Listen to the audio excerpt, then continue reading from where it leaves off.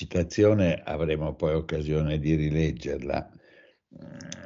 Vi illustro un attimo l'immagine, che è un dettaglio, è il dettaglio di un busto, busto di giovane, ma qualcuno ha voluto specificare, ed è chiamato busto di Giovanni Antonio Danarni, che sarebbe il giovane figlio del Gattamelata, cioè di un condottiero famoso del Quattrocento il busto si trova al Museo del Bargello, eh, potete trovarlo e vederlo nel suo insieme. Questo è un dettaglio perché alla base del busto ci sta questo bellissimo cammeo che con molta probabilità è di radice più antica, è la riproduzione di un cammeo antico, possibilmente di età classica, e illustra appunto il mito della biga alata, che sta in qualche modo al centro, se ne parla due volte. Stasera vedremo il primo accenno a questo mito della bigalata, ma poi eh, nella seconda parte del discorso eh, Socrate, Socrate Platone approfondisce ancora di più il significato di questo mito. Devo dirvi che guardando bene il busto sembra che il personaggio esibisca il cammeo, cioè non lo ha come elemento decorativo, ma proprio lo mostri, lo esibisca. Tenete conto che il Rinascimento, parlo del 400 ed è almeno dalla prima metà del 500, è fortemente neoplatonico. Per esempio, la grande Firenze del 400 ha un maestro riconosciuto che è Marsilio Ficino, e Marsilio Ficino è palesemente un neoplatonico e la filosofia neoplatonica ha molto a che vedere con la pittura del Quattrocento, con l'arte del Quattrocento, quindi anche con la scultura. E ha avuto un'influenza che ancora oggi forse, nonostante uno studio bellissimo di uno studioso francese, si chiama André Chastel, ha avuto un'enorme influenza. È un cameo estremamente bello ed è forse l'illustrazione più piena del mito eh, della bigalata, che non ha avuto molte trasposizioni artistiche. Voglio però partire da una questione che ha caratterizzato la filosofia del Medioevo, facendo una precisazione. Noi ormai abbiamo sdoganato il Medioevo da parecchi anni il Medioevo non è più la stagione o l'età dei secoli bui. L'abbiamo, l'abbiamo letta, l'abbiamo sentita, forse molti di noi l'hanno studiata, questa accezione. Eh, medioevo, età, secoli bui, l'insieme di questi secoli bui.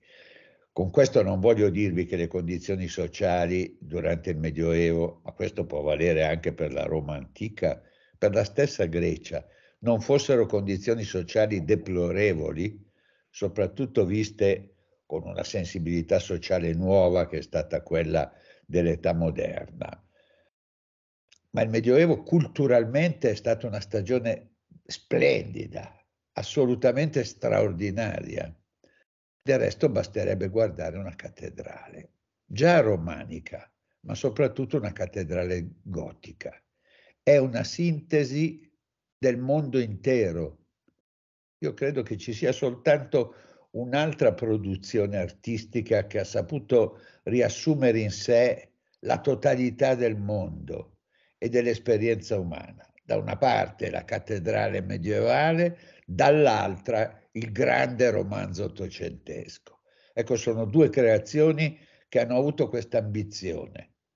Usando la frase di Tolstoi che diceva scrivo come sotto lo sguardo di Dio, potremmo dire che tutte e due queste creazioni sono sotto lo sguardo di Dio a raccogliere il mondo o, se volete, la creazione nel suo insieme, nella sua totalità. Ed è stato il Medioevo una grande stagione filosofica. C'è un bellissimo libro di uno studioso francese, si chiama Etienne Gilson, si chiama eh, Lo spirito della filosofia medievale. Ecco, eh, percorrendo questo libro, tra l'altro leggibilissimo, noi ci rendiamo conto di qual è, stata, eh, qual è stato il fermento filosofico che ha caratterizzato questa stagione della storia.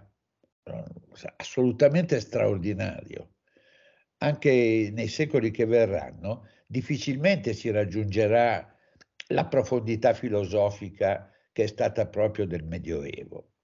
E eh, in uno dei momenti salienti di questa riflessione filosofica, siamo nel 1200, all'interno di quella scuola che è stata chiamata la scolastica, piccola parentesi, il Medioevo non è sotto il segno di Platone, il Medioevo è sotto il segno di Aristotele.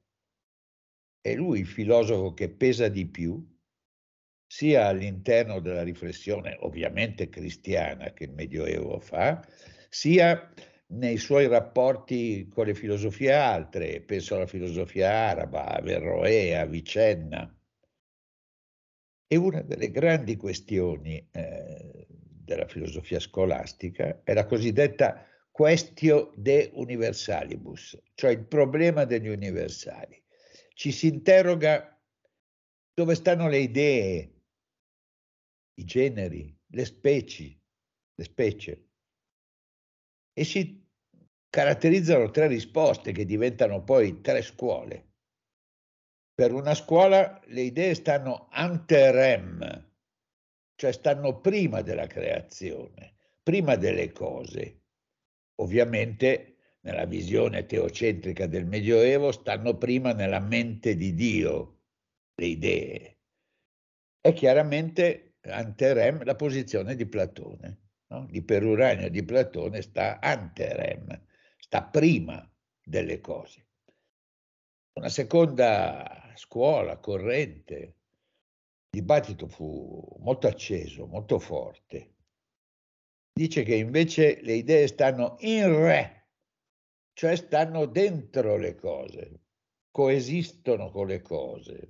In senso estensivo potremmo dire stanno nella mente dell'uomo, anche questa lettura è in qualche modo giustificata. E infine un terzo momento che dice le idee vengono post rem, cioè stanno semplicemente, sono flatus vocis, sono semplicemente voci.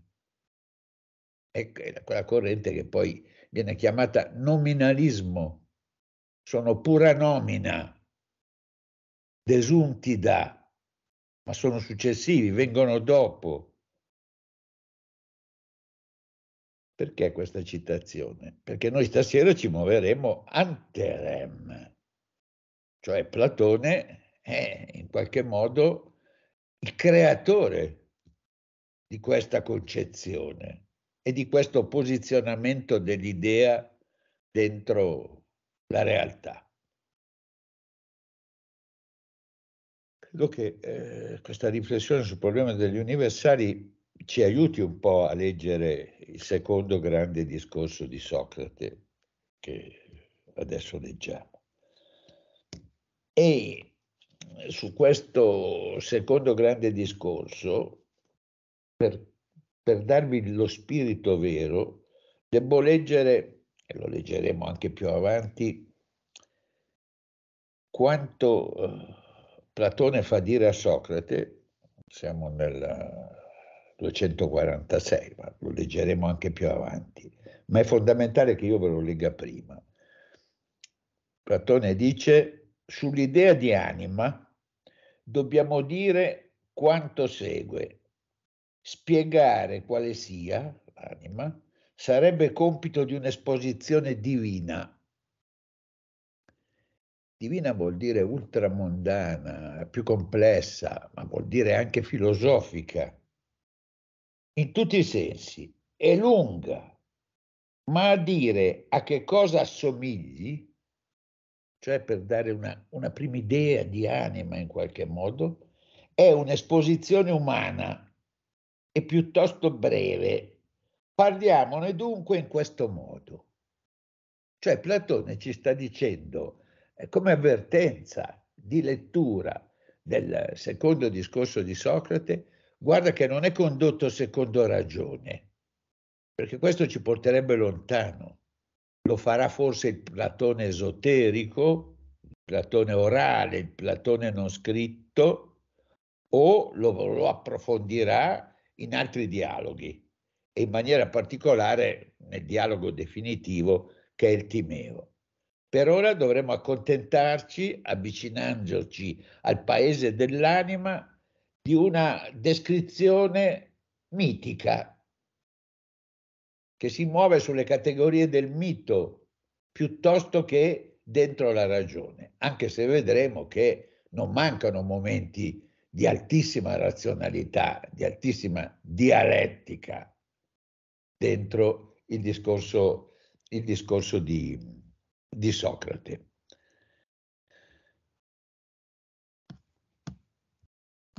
È chiaramente un discorso allora presentato nella forma di una narrazione mitica. Se ci dimenticassimo questo non avremmo un'avvertenza chiara della profondità di questo discorso. Dobbiamo tenerne ben conto e avere la mente chiara in riferimento a questo, altrimenti devieremmo un poco nella nostra, nella nostra lettura che adesso andiamo a, a iniziare.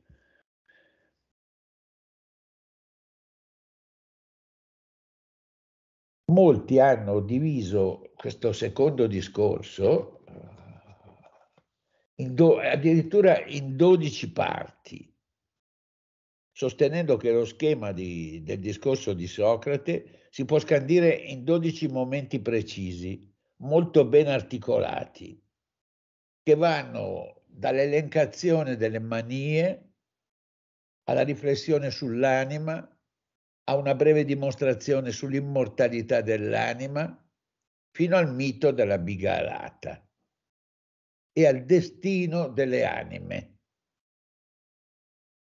Io ritengo che questa suddivisione del discorso, del secondo discorso di Socrate, eh, abbia solo una finalità didattica, scolastica, perché a me è sempre parso che questo discorso avesse un'unità fortissima e mi auguro che eh, riusciate proprio a cogliere la preziosità di questa unità. Vediamo come, come inizia il, il discorso. Socrate.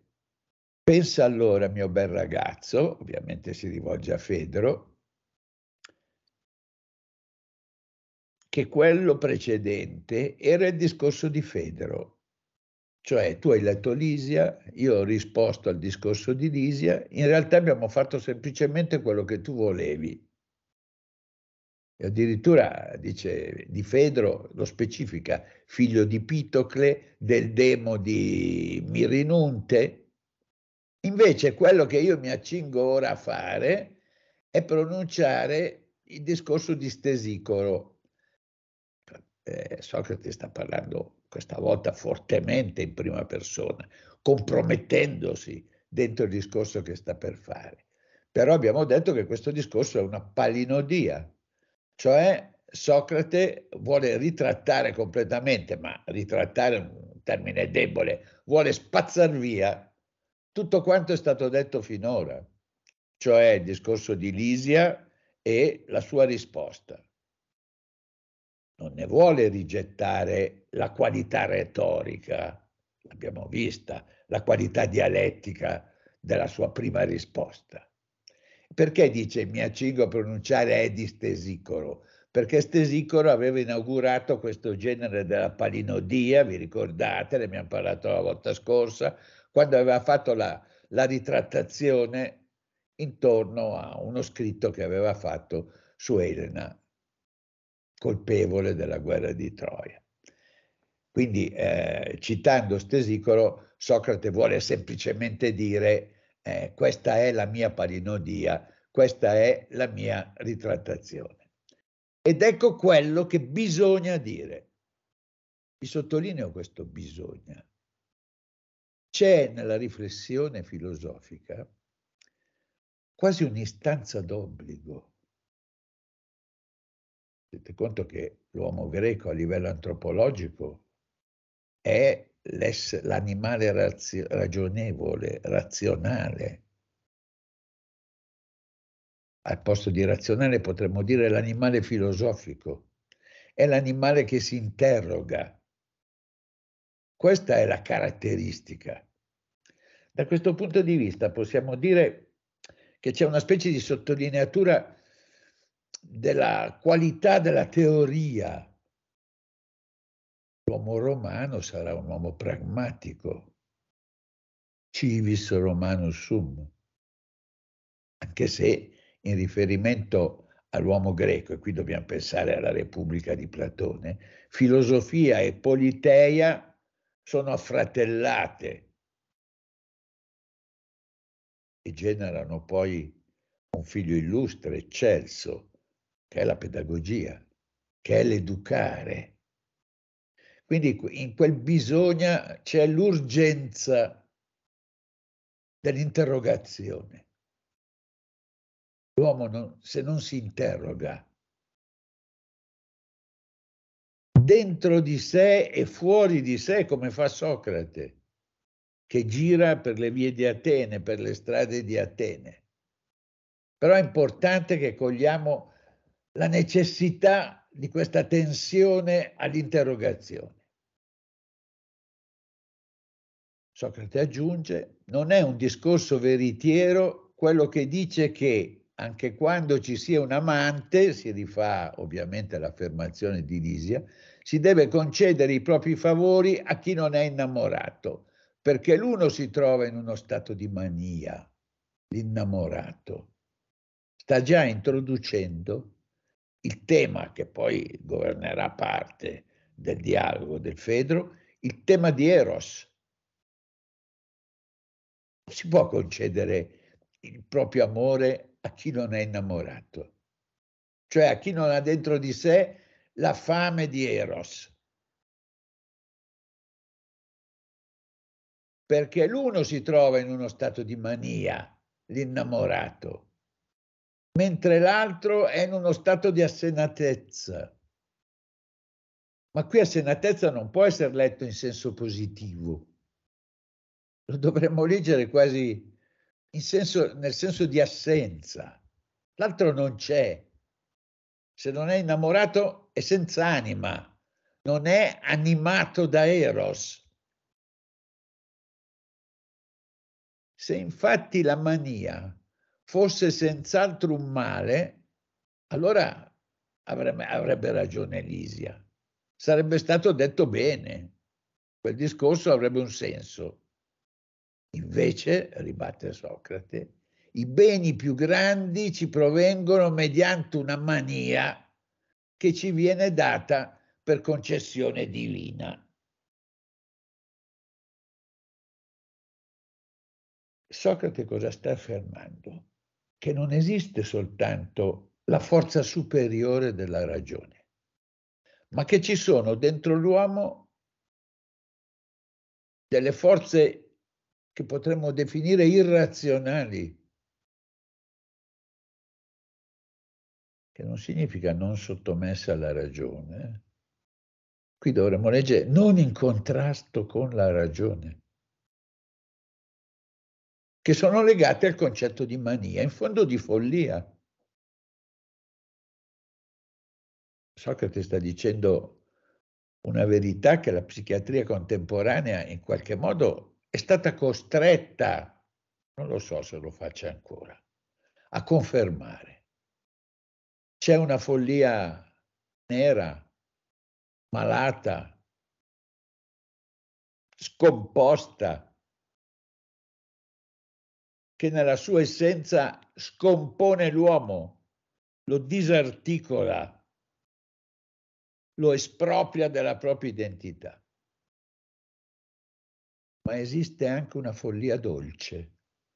E questa la, è, non è detto in questi termini. Socrate si limita a dire c'è una mania umana e c'è una mania divina. Chiama divina quella mania che produce qualcosa, che rivela qualcosa. che ha una sua esuberanza, una sua creatività. E a questo punto classifica addirittura quattro tipi diversi di mania. La prima mania di cui ci parla la troviamo qua. Infatti, la profetessa di Delfi le, e le sacerdotesse di Dodona quando si trovavano in uno stato di mania, procurarono all'Ellade, quindi al paese intero, molti e bei benefici, e in privato e in pubblico. Mentre queste stesse sacerdotesse, possiamo chiamarle così, quando si trovavano in stato di senno, ne procurarono pochi o nessuno. E se dicessimo poi della Sibilla, e degli altri che avvalendosi della mantica, quindi la prima mania è la mantica, cioè l'arte di guardare il futuro, di prevedere in qualche modo anche il futuro. Avvalendosi della mantica di ispirazione divina, predicendo molte cose a molti, li indirizzarono sulla giusta via per il futuro ci dilungheremmo, se, se, io mi dilungassi a illustrare questa mania, nel dire cose che sono note a, mol, a tutti. Quindi questa ma, prima mania è di fatto, eh, ci sta dicendo questo, è, è riconosciuta da tutti.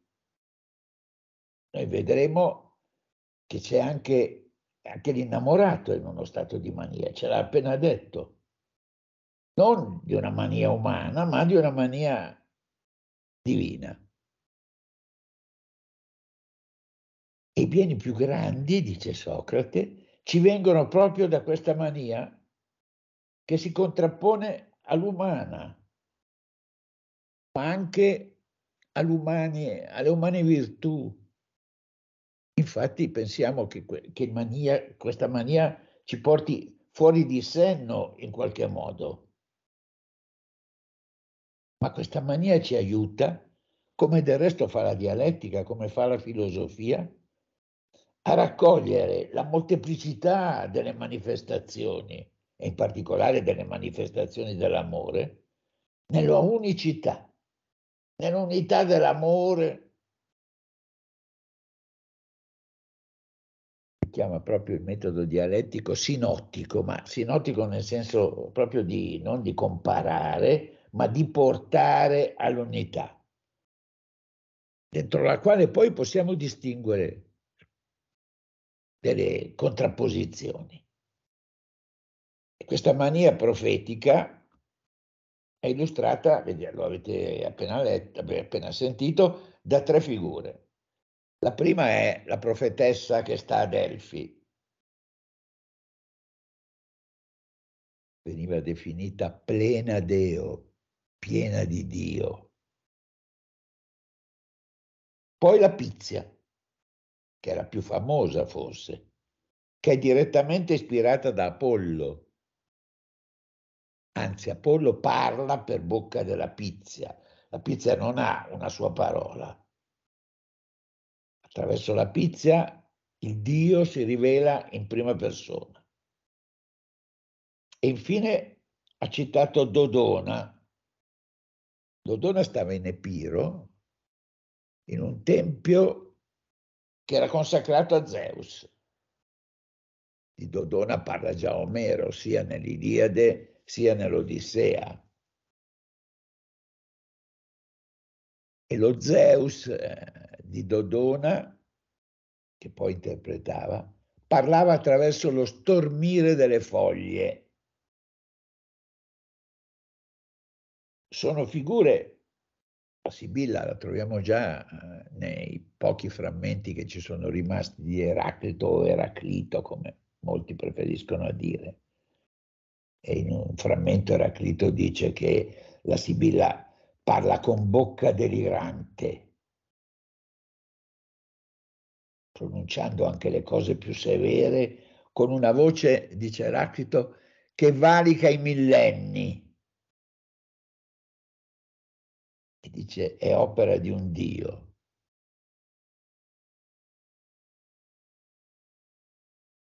Ma merita di venire addotto, continua Socrate, sta parlando ancora della prima mania, come testimonianza il fatto che anche fra gli antichi, vi ho detto che troviamo tracce in Omero, in Eraclito, coloro che hanno coniato i nomi non hanno considerato la mania come cosa né brutta né vergognosa,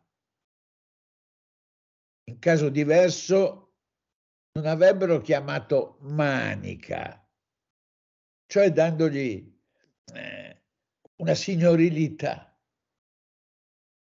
come un regno, la più bella fra le arti, con la quale si prevede il futuro, connettendo ad essa proprio questo nome. Invece, considerando la cosa bella, anche perché essa sorga per sorgente divina, gli hanno imposto, hanno arricchito quasi il suo nome, gli hanno imposto quel nome, Manica. Mentre, state molto attenti, gli uomini di oggi, ignari del bello, hanno introdotto una T, Manica, è diventato Mantica e l'hanno chiamata Mantica. In effetti, specifica Socrate, anche la ricerca del futuro che fanno coloro che sono in stato di senno, cioè gli auguri, gli auruspici, gli indovini, e lo fanno mediante uccelli e altri segni, in quanto muovendo dalla ragione procurano intelligenza e fondata conoscenza alla oiesi, che significa opinione umana, gli antichi la chiamarono oinoi, oinonistica. I moderni non hanno fatto altro che per rendere più solenne hanno soppresso una O e la chiamano oionistica. Qui vedete che qui Socrate sta distinguendo una mania umana alla quale non dà molta credibilità, il volo degli uccelli, eccetera, dalla mania divina che ha illustrato attraverso i tre esempi e le tre donne che ha citato. E dunque, quanto più è perfetta e degna d'onore la mantica rispetto all'oionistica, quindi mania divina, mania umana ancora, rispetto al nome e all'azione dell'altra, tanto più come attestavano gli antichi, la mania che proviene da un Dio è migliore della senatezza che proviene dagli uomini. È bello che Platone fa, faccia risalire a un Dio, agli dei, quella che ho chiamato follia dolce. Se pensiamo, tornando, tornando riprendendo il Medioevo, che invece la follia era considerata diabolica, no? era chiamata una possessione diabolica. E questa è la prima mania che eh, Socrate cita. Seconda mania. Ha preso poi il nome di rituale o telestica ed è propria, prima di leggere ve la, ve la chiarisco, di coloro che ispirati da un Dio trovano nella preghiera, nella cura, negli atti da compiere per liberare uomini, famiglie dai mali che li affliggono. E specificherà nel testo, adesso lo leggiamo, anche per antiche colpe. Questa seconda mania disvela ai sofferenti un mezzo per uscire dalla loro miseria. E non si limita alla cura, ma arriva ad additare, pensate bene, vorrei che pensaste a, anche all'attualità di queste, di queste parole. Il bisogno di una rinascita. Non bisogna solo quando sei in una situazione di sofferenza, guarire, ma bisogna rinascere. Così la descrive, leggiamo, ma anche dalle malattie e dalle pene più grandi che provenendo da antiche colpe da qualche parte si abbattono su alcune delle stirpi, parla delle stirpi umane ovviamente. La mania quella mania che abbiamo detto è rituale telestica, così è, viene poi definita. La mania, sorgendo e profetando in quelli in cui doveva operare, trovò una via di scampo, rifugiandosi nella preghiera, nella venerazione degli dei e quindi procurando, eh, non c'è solo il momento della preghiera, c'è il momento dell'azione procurando purificazioni e iniziazioni, rese libero chi ne fosse in possesso, per il presente e per il futuro, avendo trovato una liberazione da tutti i mali presenti per chi era in stato di mania e invasato nel modo dovuto. Ed è illustrata la seconda mania. Terza mania, quella che possiamo definire la mania poetica. In terzo luogo viene l'invasamento e la mania che proviene dalle muse, che impossessatesi di un'anima tenera e pura, la desta e la trae fuori di sé nell'ispirazione. Che lui chiama Bacchica, no? si risale un po' a, Dioniso, in canti e in altre poesie, e rendendo onore ad innumerevoli opere degli antichi, istruisce i posteri. Bella anche questa immagine, no? Di un sapere poetico che lega il passato al futuro, che non vede la poesia semplicemente come fatto emotivo o stilistico, ma vede la poesia come la legame, lo dice con, con estrema chiarezza, eh? tra il passato e il futuro. Ma colui che giunge alle porte della poesia senza la mania delle muse, cioè senza l'ispirazione, pensando che potrà essere valido poeta in conseguenza dell'arte, rimane incompleto. E la poesia di chi rimane in senno viene oscurata da quella di coloro che sono posseduti da mania. Qui capiamo come Platone abbia due diversi atteggiamenti rispetto alla poesia. Questo che la alza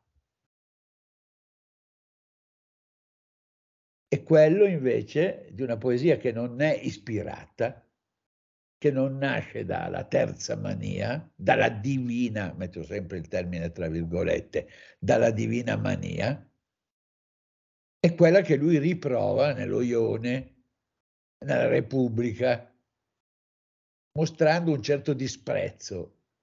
Molti hanno trovato la contraddizione in Platone, dice come a volte esalta la poesia, a volte la denigra. E qui abbiamo la chiave che ci permette di vedere che Platone non cade in contraddizione. C'è una poesia che si deve esaltare perché è ispirata, c'è una poesia che invece è piatta. Queste altre ancora sono le opere belle di una mania che proviene dagli dei che ti posso indicare. Pertanto non dobbiamo aver paura della cosa, cioè se sentiamo dentro un afflato. E non deve produrci turbamento, un discorso che vuole intimorirci dicendo che si deve preferire come amico l'uomo assennato invece di colui che è preso da passione. Perché questo genera la mania, no? la passione, che molti considerano irragionevole.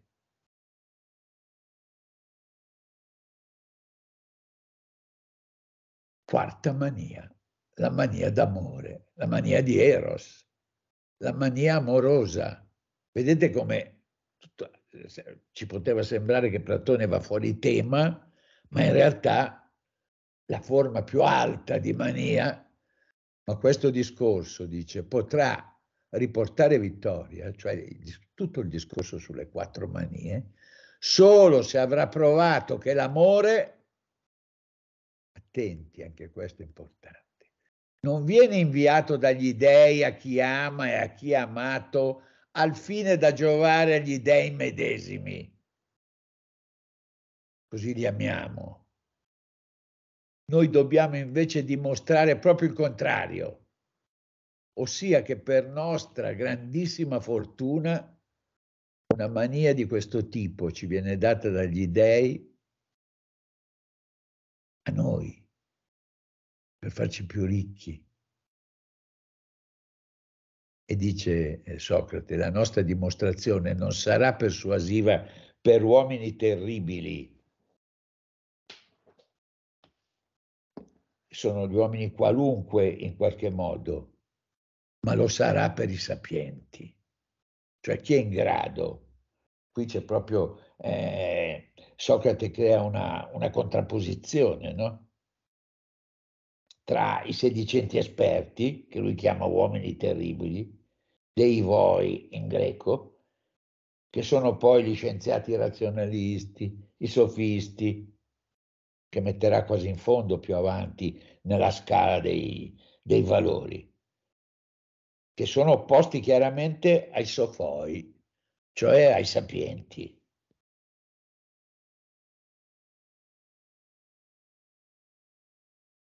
Questo è un tema che già ci introduce al discorso sull'anima.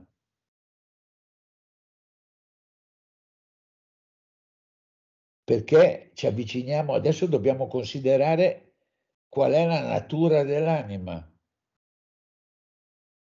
la physis dell'anima. E Platone adesso dell'anima ci parla. Si possiamo dire che Platone in qualche modo è l'inventore dell'anima. I più critici nei confronti di Platone sostengono che Platone arriva all'anima, in qualche modo usa l'anima per fondare un sapere universale. Cioè l'anima sarebbe come, psiche ovviamente anima, l'organo che conserva dentro di sé le idee, che ha contemplato le idee. Guardate che per esempio nella tradizione del Vecchio Testamento, perché cosa succede? Che quando i 70, siamo nel secondo secolo avanti Cristo, quindi un secolo abbondante dopo, dopo Platone, un secolo e mezzo, traducono la Bibbia dall'ebraico al greco, il termine nefesh, che ha 725 ricorrenze nel Vecchio Testamento e che significa letteralmente soffio,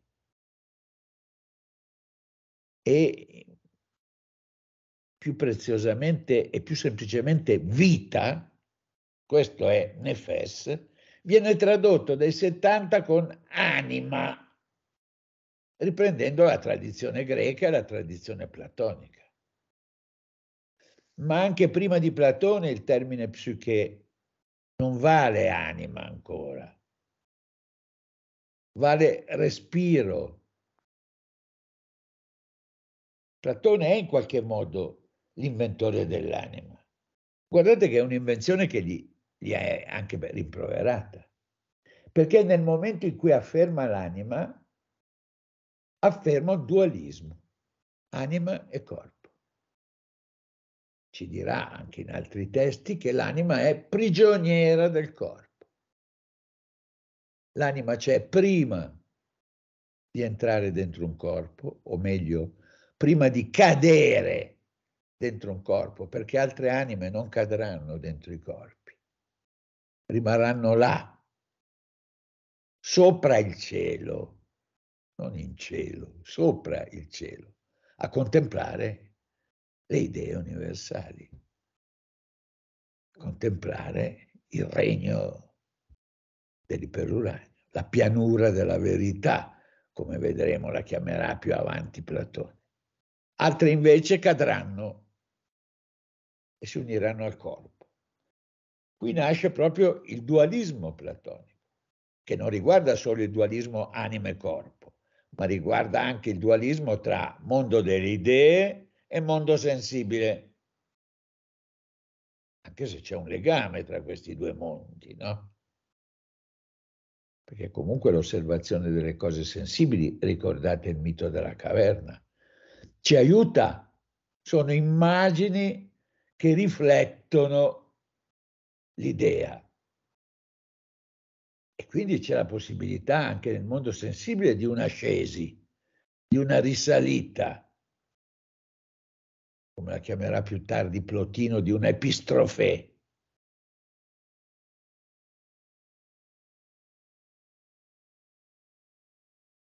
Questo è, diciamo che è la parte che della filosofia di Platone è stata più, più criticata. Un grande psichiatra del Novecento, che è stato anche un notevole filosofo, eh, apparteneva a quella corrente filosofica importante che è la fenomenologia, che è Biswang, arrivò a dire, cito a memoria, eh, che il dualismo anima e corpo è il cancro di ogni psicologia. Perché l'uomo è unita, non può essere sdoppiato, così come lo concepisce Platone.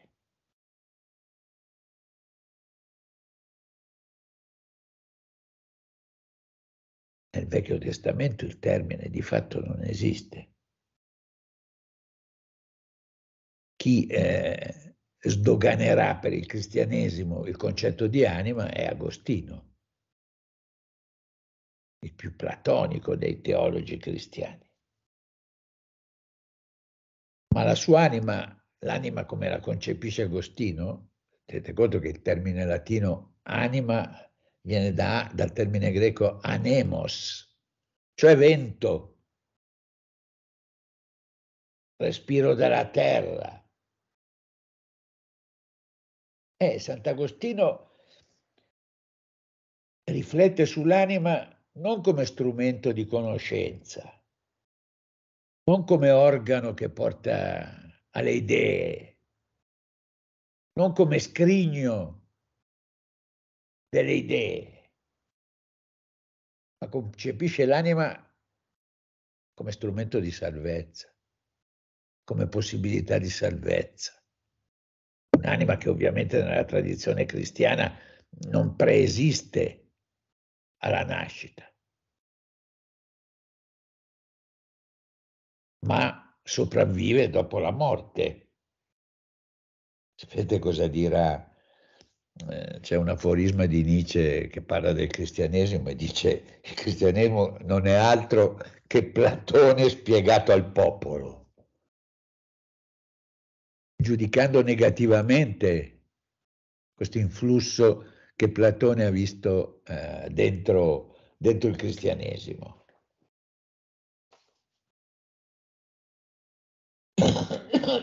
Scusate.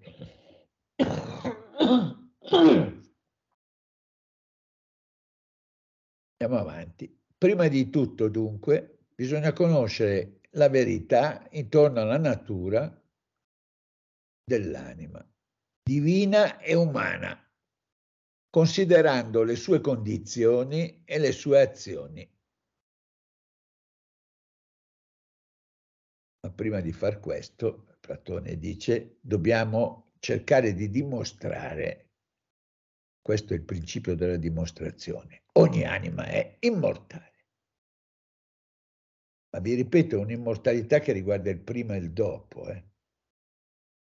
E qui dà una dimostrazione dell'esistenza dell'anima e della immortalità, scusate, dell'anima. La leggiamo. Infatti, ciò che sempre si muove, che dà vita al movimento, che non smette mai di muoversi, è immortale. Mentre ciò che muove altro ed è mosso da altro, quando ha cessazione di movimento, ha cessazione anche di vita sta creando un'equivalenza molto forte qui Platone. Movimento, vita, mancanza di movimento, morte. L'anima è in continuo movimento, come vedremo dopo. Ma non solo, ma dà movimento al corpo, anima il corpo. Come tale è immortale, dice Platone. Dunque, solamente ciò che muove se stesso non cessa mai di muoversi. In qui vedete che qui fa filosofia. Abbiamo detto che la tonalità di questo secondo discorso è, è mitica, è legata al mito. Ma discor- questo secondo discorso di Socrate contiene anche momenti di, di alta speculazione. Dunque solamente ciò che muove se stesso non cessa mai di muoversi, in quanto non lascia mai se stesso. Anzi, è fonte e principio, sottolineato tre volte questo principio di movimento, anche per le altre cose che si muovono. E qui dà una seconda precisazione per fondare l'immortalità dell'anima il principio non è generato. Anche questa è filosofia, eh? Cioè, qui non, il mito è, al momento è accantonato. Ciò che dà inizio non può essere generato. In, e lo ribadisce adesso. Infatti è necessario che tutto ciò che è generato si generi da un principio se c'è una generazione o noi potremmo dire una creazione, ci deve essere un principio che ha originato. Invece il principio è necessario che non sia generato da nulla, altrimenti non sarebbe più principio, ovviamente. Perché se il principio, infatti lo specifica Platone, se il principio si generasse da qualcosa non sarebbe più un principio, e poiché non è generato, è necessario che sia anche incorruttibile. Infatti, se perisse il principio, né questo potrebbe generarsi da qualcosa, né altra cosa potrebbe generarsi da esso. Dal momento che tutte le cose devono generarsi da un principio. Dunque, qui lega principio e movimento, dunque principio di movimento ciò che muove se stesso. E questo non è possibile né che perisca né che si generi. Se no, tutto quanto il cielo e tutta quanta la terra insieme in una sola cosa resterebbero immobili e non potrebbero più avere di nuovo ciò da cui potrebbero venire rimessi in moto e rigenerarsi.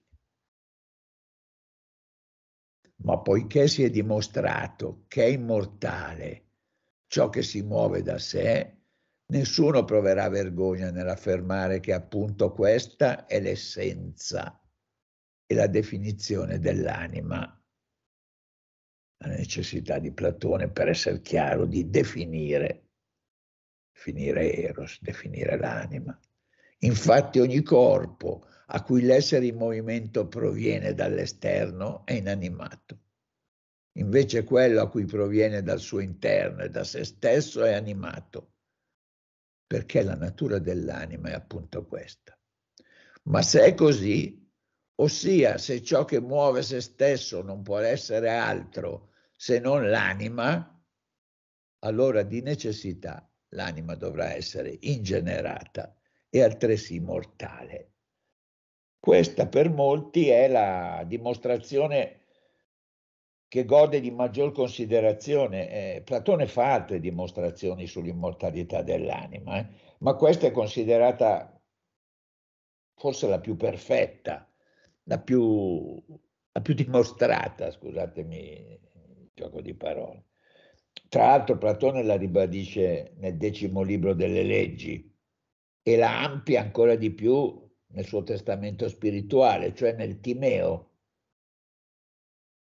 Ci sono però alcuni critici che ritengono più pregnanti e dal punto di vista metafisico più forti le prove che invece Platone dà nel Fedone, sempre sull'immortalità dell'anima, o nel decimo libro della Repubblica.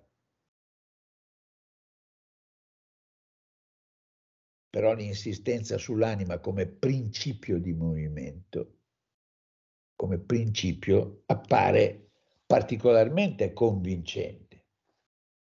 Che dimostrazioni dà, ve lo dico per curiosità, nel Fedone? Nel Fedone sostiene che l'anima è immortale nel momento in cui eh, rileva e riconosce le realtà immutabili ed eterne, cioè l'anima riconosce le idee, riconosce lo spazio dell'iperuranio. Se le riconosce deve essere per forza di cose affine ad esse. E siccome queste idee sono eterne, vengono prima, anterem, per usare il termine dei medievalisti, dei, dei filosofi medievali, quindi deve essere anch'essa immortale. Ma nel Fedone dà anche un'altra prova, che si basa sulle caratteristiche proprio ontologiche delle idee. Cioè, Platone fa questa dimostrazione. Beh, ovviamente sono un po' riduttivo e vi riassumo un po'. Le idee contrarie non possono combinarsi e stare insieme fra loro, sia in sé sia nelle cose. Caldo e freddo non possono combinarsi. L'idea di caldo e l'idea di freddo. Perché se arriva il caldo, il freddo scompare. Questo però si può estendere, allora nemmeno l'idea di neve e l'idea di caldo possono stare insieme.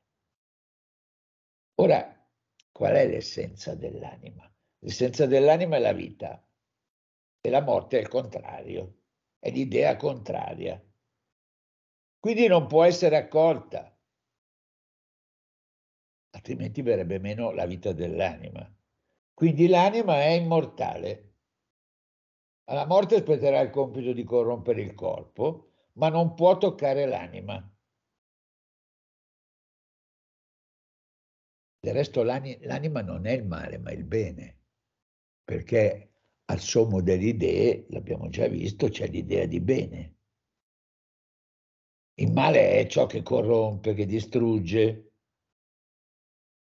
ciò, de, ciò che tocca, ciò in cui si trova, mentre il bene è ciò che benefica, che giova. il male è morte, non può coniugarsi col bene che sta dentro l'essenza dell'anima.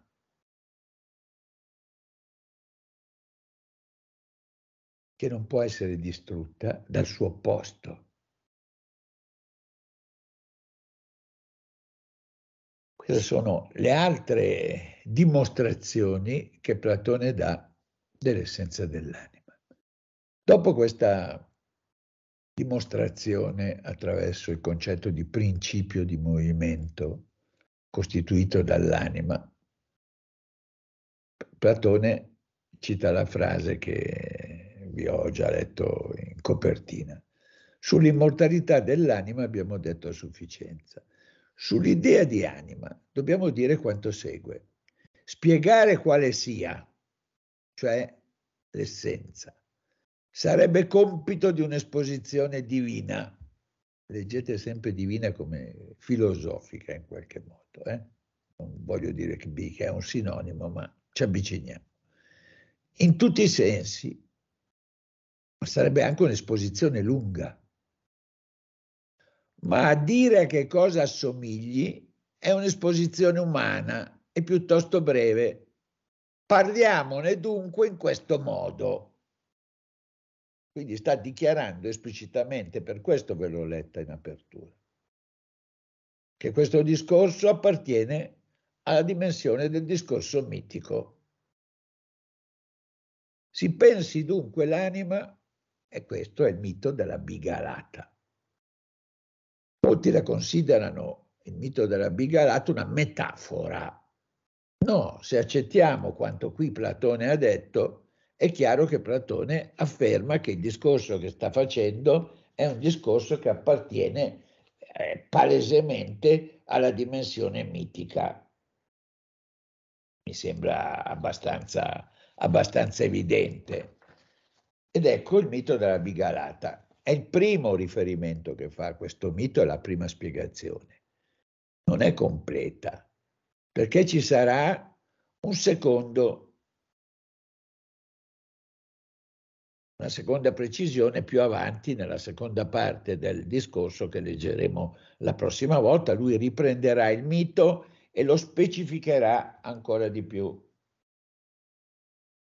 Possiamo però posso dirvi una cosa che non sta in questo dialogo, ma che comunque ha un suo peso e una sua, e una sua importanza.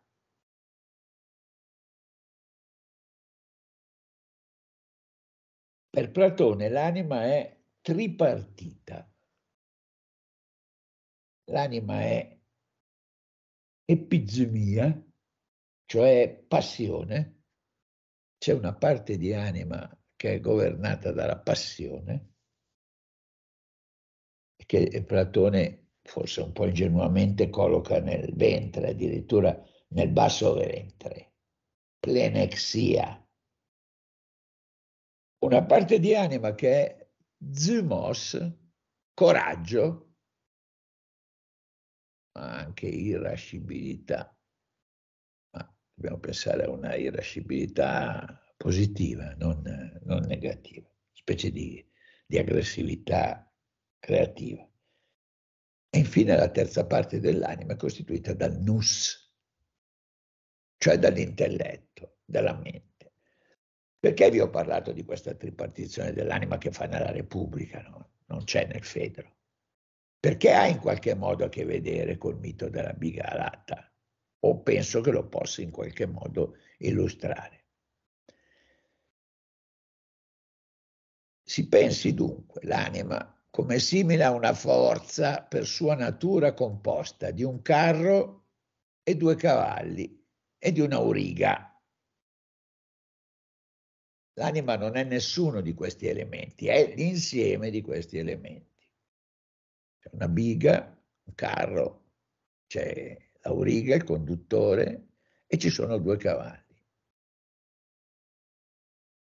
Qui fa una precisazione che riguarda il discorso mitico, chiaramente. I cavalli e gli aurighi degli dei sono tutti buoni e derivati da buoni. Invece quelli degli altri sono misti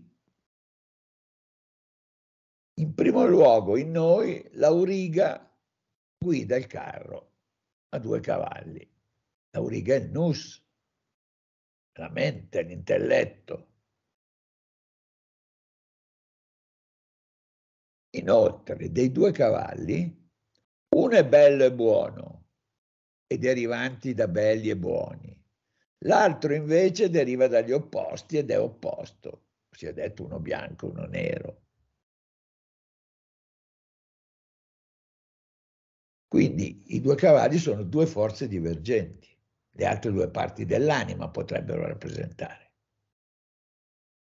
Il cavallo bianco sarebbe lo smos, cioè il coraggio,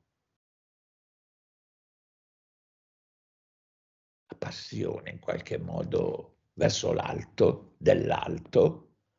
L'altro invece è l'epizumia, sono le passioni ter- rappresenta le passioni terrestri, rappresenta il lato, non voglio dirvi oscuro, ombroso, per usare un termine junghiano, il lato ombroso. Scusatemi, bevo un cuccio d'acqua.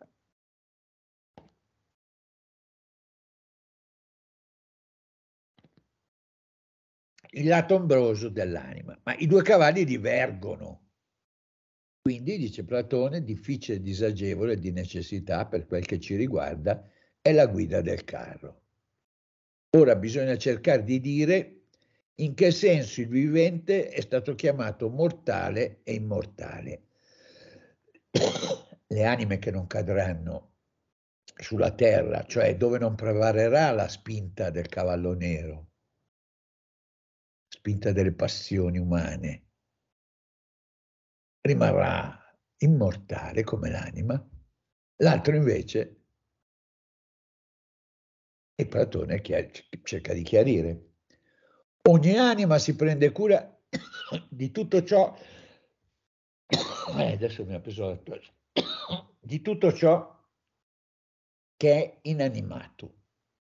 Ogni anima in greco è pasa su che tutta l'anima. Guardate che il concetto che Platone ha dell'anima non è il nostro, non è un'anima individuale, è anche un'anima individuale. Può diventare nel momento in cui si unisce al corpo un'anima individuale, altrimenti dovremmo leggerla quasi come un'anima del cosmo, della creazione. È l'anima di ogni vivente, insieme è tutta l'anima del mondo ed è ogni anima.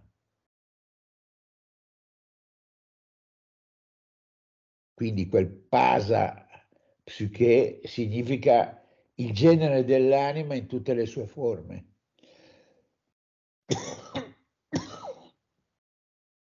Più avanti lui specificherà, e lo leggeremo, che l'anima assume varie forme a secondo del suo andamento e del suo movimento.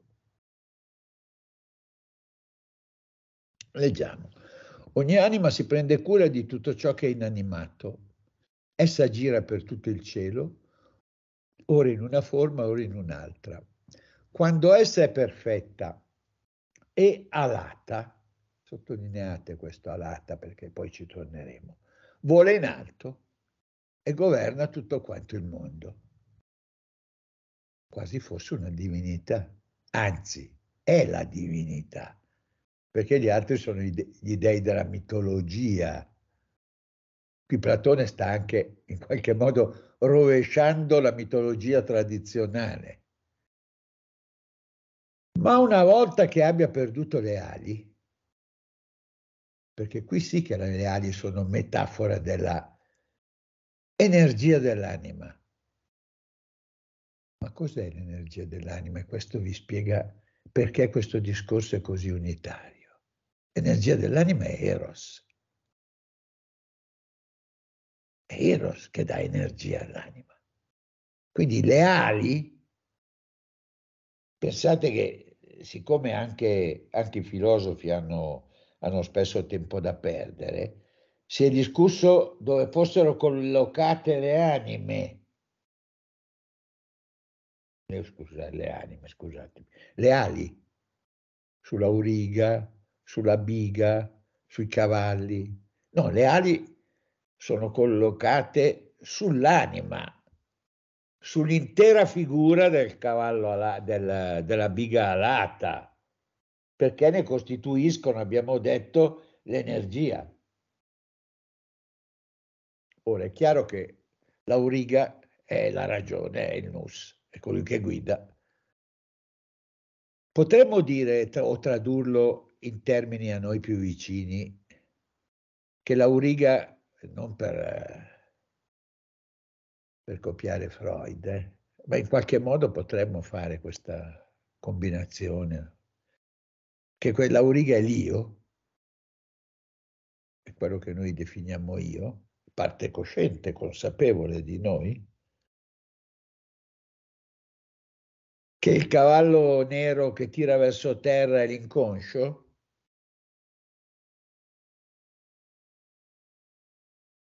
che il cavallo bianco in qualche modo rimanda all'idea di sublimazione?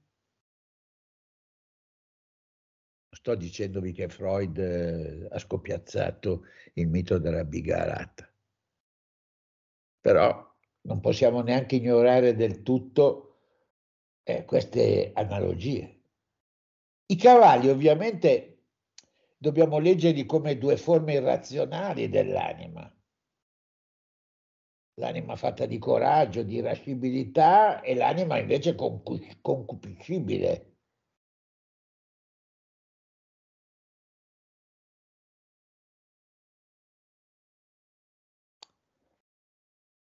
Andiamo avanti nella lettura. Allora, quando essa è perfetta ed alata, vola in alto e governa tutto quanto il mondo. Ma una volta che abbia perduto le ali, cioè che Eros l'abbia in qualche modo svuotata, viene trascinata giù fino a quando non si aggrappia a qualcosa di solido.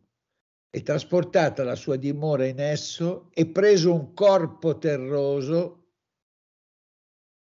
per la potenza di essa, questo sembra muoversi da sé il corpo, ma in realtà si muove perché l'anima c'è cascata dentro. Qui si apre il dualismo fra i due mondi, no? Il mondo dell'iperuranio perfetto, eterno, idee che non muoiono, che godono. L'idea di albero non ha subito nessuna trasformazione da Platone ad oggi, no? Ha raccolto la molteplicità di tutti i possibili alberi in un'unità, che con noi oggi lo chiamiamo concetto, che è l'idea di albero. È chiaro che ci sono due mondi. Si poneva poi a Platone, ma esco un po' da, dal Fedro, il problema di quale fosse il rapporto tra questi due mondi. In una prima ipotesi Platone pensò che il mondo sensibile, il mondo che noi abitiamo, fosse a imitazione del mondo delle idee mesi. Non era contento chiaramente di questa prima ipotesi e ne coniò una più, a mio avviso, molto più importante. Questo, il mondo sensibile partecipa del mondo delle idee, mettessi. Quindi le prime due, due interpretazioni sono mimesi e metessi. Su questo concetto di metessi, di partecipazione, andrebbe fatta una lunghissima riflessione, perché secondo me ha una sua profonda verità. Tuttavia, nemmeno questa seconda ipotesi piacque a Platone e secondo me fece una regressione non un passo avanti, supponendo invece una figura intermedia tra i due mondi, il demiurgo,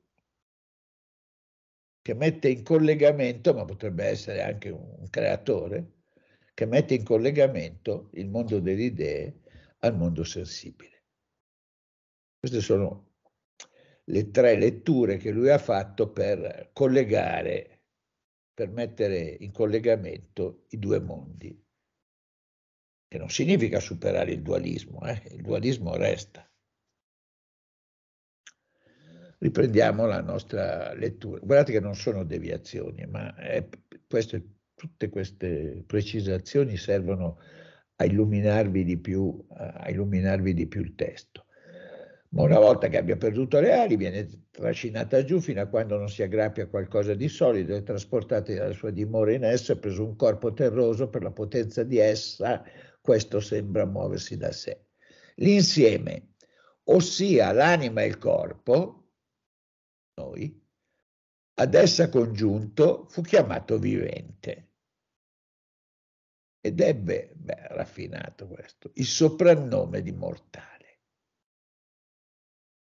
Il termine immortale non può essere spiegato sulla base di un solo discorso razionale, ma senza conoscerlo ed intenderlo in modo adeguato, noi ci figuriamo, ci immaginiamo un Dio, un essere vivente e immortale che ha un'anima e un corpo eternamente connaturati.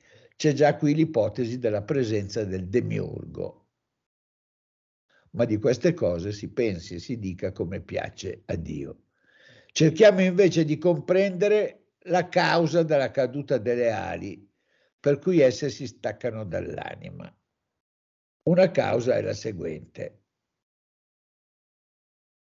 La potenza dell'ala, per sua natura, tende a portare in alto ciò che è pesante, sollevandolo là, dove abita la stirpe degli dei, e in un certo senso partecipa del divino più di tutte le cose che riguardano il corpo.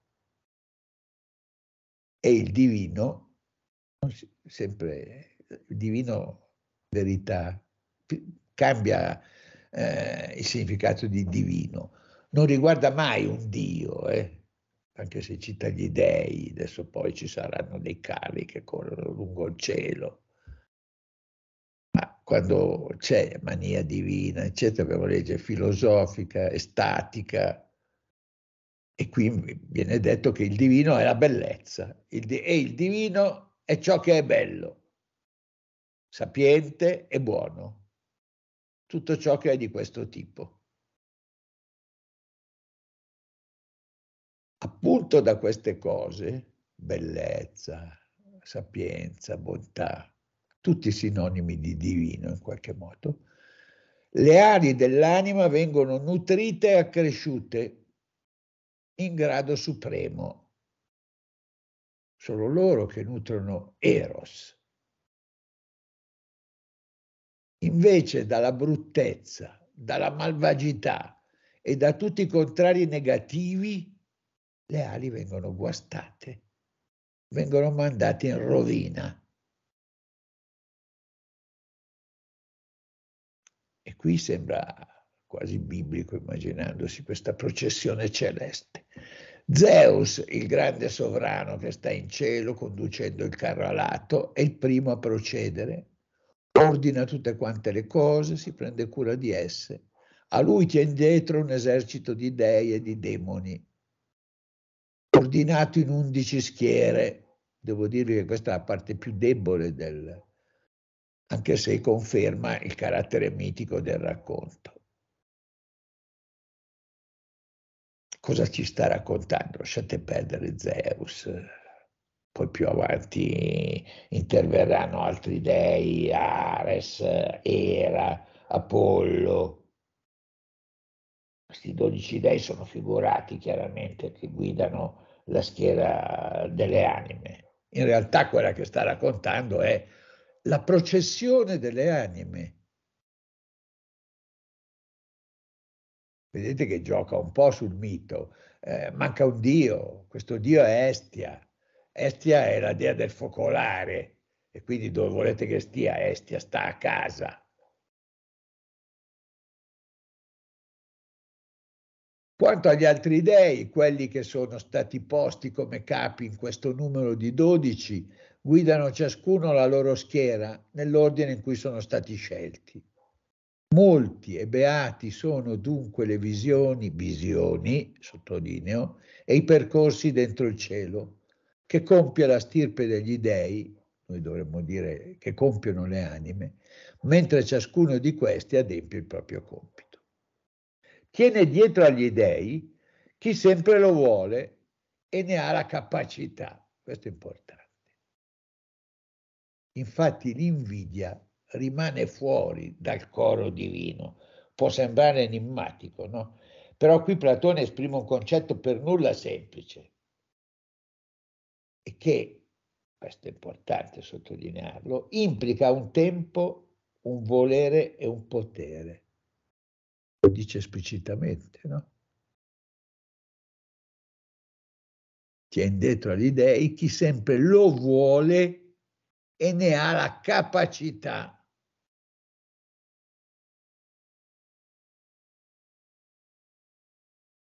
Volere potere vale a dire adesso essere, essere più, più legati a un linguaggio più attuale, libertà e condizionamento.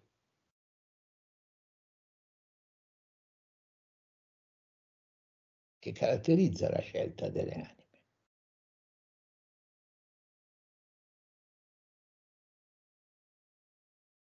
che sono, abbiamo detto, buone, e in, buono, in una persona buona, nell'anima buona, non nascerà mai nessuna invidia per nessuna cosa. Sembrava enigmatica quella frase. No? Sembrava quasi evangelico, improvvisamente l'invidia rimane fuori dal coro divino. Il bene non può invidiare il bene, Stiamo parlando di una specie di processione di anime. Il linguaggio è palesemente figurato con la citazione degli dei di una mitologia alla quale Platone chiaramente non, è, non crede, no, comunque non è succube. I veicoli degli dei, potremmo sostituire delle anime giuste, che sono ben equilibrati e agili da guidare, procedono bene. Gli altri invece procedono a fatica. Ci spiega il perché. Il cavallo che è partecipe del male, infatti cala, spinge verso terra, no? Piegando verso terra e opprimendo quella uriga che non ha saputo allevarlo bene. Potremmo sostituire ad allevare, ma qui parlando di un cavallo propriamente usa il termine proprio, dice allevare, ma noi dovremmo sostituire educare.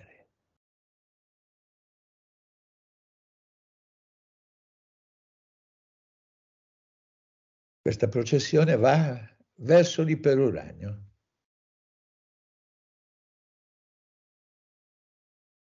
Qui all'anima si presenta la fatica e la prova suprema. Infatti, allorché le anime che sono dette immortali pervengono alla sommità del cielo,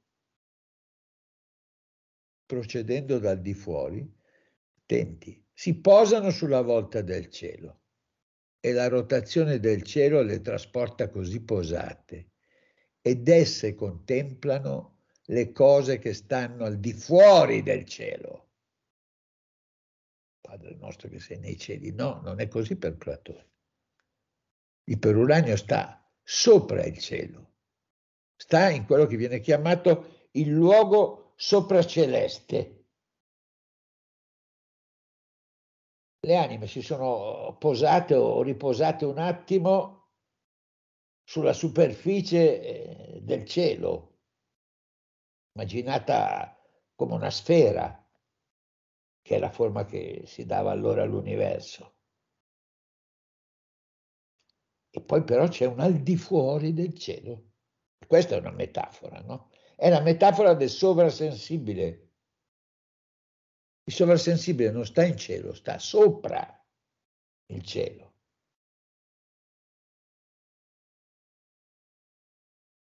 Questo al di fuori del cielo è l'immagine del mondo intellegibile, fuori dal cielo vuol dire fuori dal visibile. Cielo è Uranus in greco, che viene dalla radice orao, che vuol dire vedere. Sopra il cielo non vedi più. C'è il, c'è il mondo sovrasens, quello che viene chiamato il mondo fuori, ultrasensibile. È un, il luogo sopraceleste un'idea che ha una funzione di, eh, dirompente rispetto al nostro senso comune, eh? perché quello di cui Platone ci sta per parlare, ci sta parlando, non è un luogo.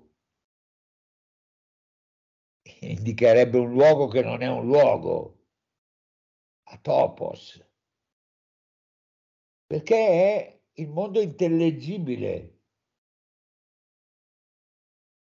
che rappresenta l'autentica dimensione dell'essere che i sensi non possono percepire, solo l'intelletto.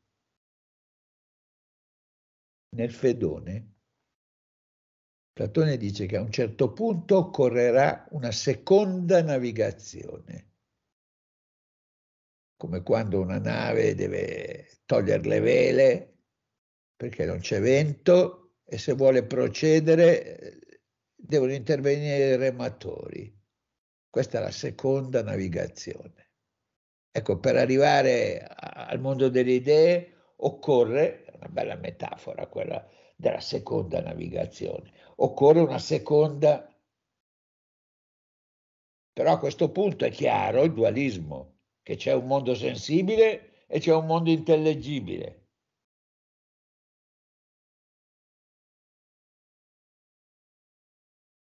che il mondo intellegibile è il mondo dell'essere, è, vero, la vera realtà, è la realtà dell'essere,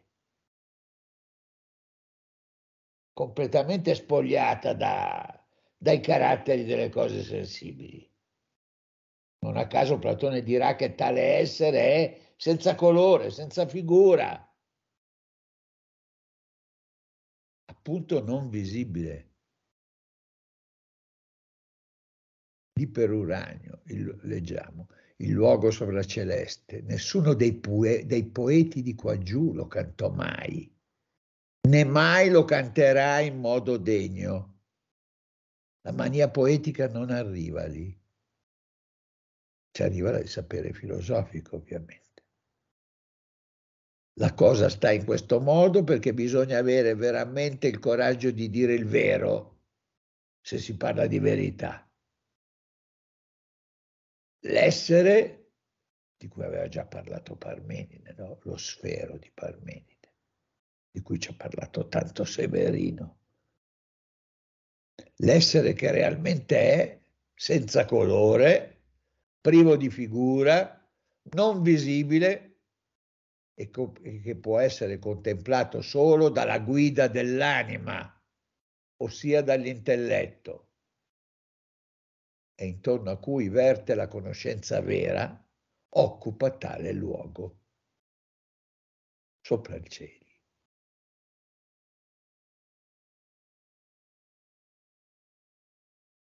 Ora, poiché la ragione di un Dio è nutrita da un'intelligenza e da una scienza pura, anche quella di ogni anima, cui prema di conoscere ciò che le conviene, quando vede dopo un certo tempo l'essere, si allieta e contemplando la verità se ne nutre e ne gode. E lo farà finché la rotazione del cielo non l'abbia riportata allo stesso punto.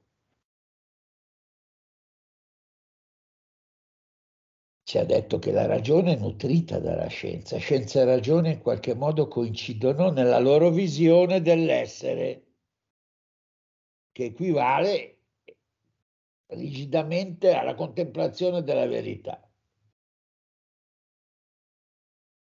Questa è la gioia e insieme il nutrimento per ogni anima. Cosa vuol dire la rotazione del cielo? se si allude diciamo alla rotazione della sfera delle stelle fisse, si tratta della rivoluzione diurna, le 24 ore. Però è più probabile, almeno il Timeo così suggerisce, che si dovrebbe parlare dell'anno cosmico, in cui tutti i corpi celesti ritornano allo stesso punto originario.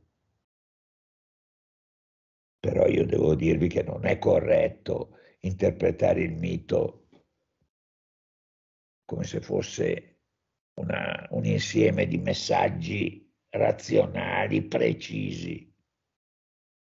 E quindi dobbiamo lasciare una certa indefinizione nel giro che l'anima compie, vede la giustizia stessa, vede la temperanza, vede la scienza. E qui Platone specifica in maniera rigorosa non quella connessa col divenire, né quella che è differente, in quanto si fonda su quelle cose alle quali noi ora, che siamo arrivati alle soglie del peruranio, diamo il nome di esseri. Ma quella che è veramente scienza in ciò che è veramente essere. e dopo che ha contemplato tutti gli esseri che veramente sono e se n'è saziata, di nuovo penetra all'interno del cielo e se ne torna alla sua dimora.